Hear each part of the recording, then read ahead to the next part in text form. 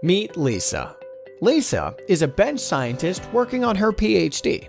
One day, Lisa came up with an interesting hypothesis. In order to test it, she needs to design new experiments and buy some new antibodies. To find quality antibodies, Lisa searches through hundreds of papers and thousands of figures, wasting hours and sometimes even days trying to find that one antibody that has been proven to work by fellow scientists. This is not a unique problem to Lisa. Scientists around the world struggle to find antibody usage data in publications. As a team of former bench scientists, we feel your pain.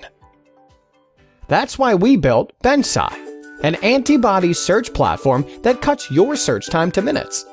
Using machine learning, we've decoded millions of scientific papers and extracted figures that contain antibody usage data.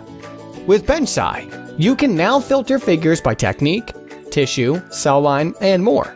You'll instantly know which antibodies have been proven to work by the scientific community.